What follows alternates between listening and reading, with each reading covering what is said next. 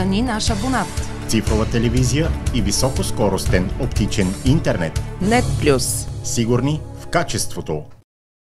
10 км колона от чакащи да преминат в Гърция през граничен пункт Колата Промахон рано тази сутрин. Ситуацията се осложни след решението на гръцките власти да затворят за туристически пътувания другите пропускателни пунктове.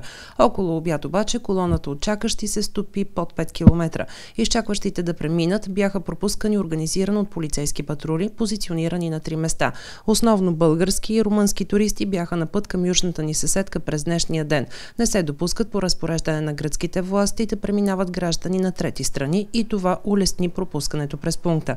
Не се извършва преминаване през ГКПП Златоград и в двете посоки. От вчера тази забрана за преминаване с цел туристическо пътуване е валидна и за граничните пунктове Капитан Петково и Вода има каза. Всички граждани, пътуващи с туристическа цел към Гърция, преминават само през граничния пункт Кулата. Според справка на агенция Митници през изминалото денонощие са обработени 1318 товарни превозни средства, 410 на вход, 908 на изход от страната.